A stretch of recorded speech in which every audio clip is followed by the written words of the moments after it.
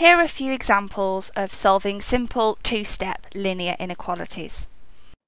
So I'm going to start with this linear inequality. So 2x plus 1 is greater than 9. Now remember, all that sign there means is that what's on the left hand side, 2x plus 1, is greater than what's on the right. Now the equation 2x plus 1 equals 9, hopefully we should already know how to solve that. Now actually if we can solve that equation, we can also solve that inequality by exactly the same process. So this is just how I like to set up my working out. I like to write down what I'm doing to both sides on the right. It's, it's completely up to you as long as you're showing your working. So the first thing I'm going to do is subtract 1 from both sides of that equation. So I'm writing down subtracting 1 there, which leaves me 2x on the left hand side I've taken away 1 and leaves me 9 take away 1 which is 8 on the right hand side.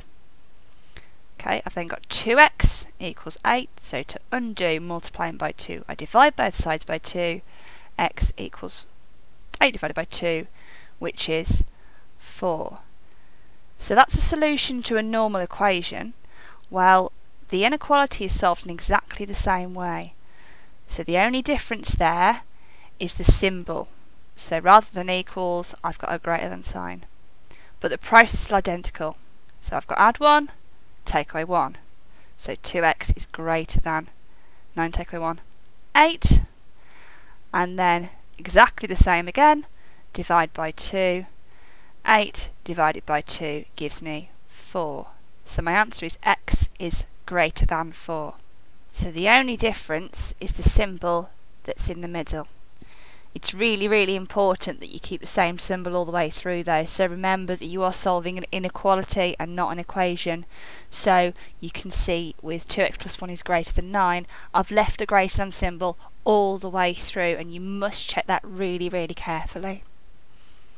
Okay, let's have a look at another one. So 3x plus 5 is less than 23. Different symbol, but same process.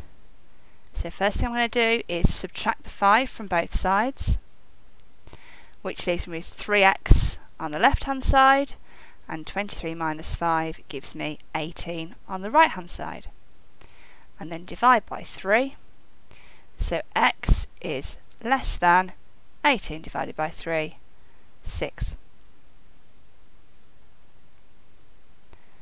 And then finally, 5x minus 2 is greater than or equal to 13. So again, exactly the same process. This is just how I like to do my working out. I'm going to add 2 to both sides to cancel out my minus 2. That's going to give me 5x is greater than or equal to 13 plus 2, 15 and then divide by 5 so x is greater than or equal to 3.